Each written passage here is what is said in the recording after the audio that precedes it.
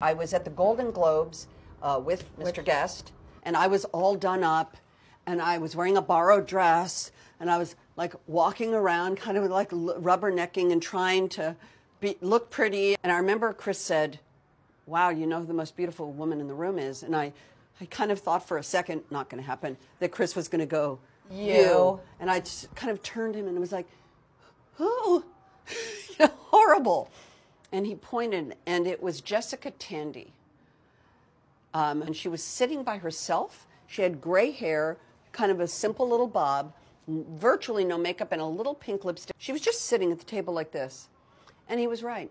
I don't want to fight nature.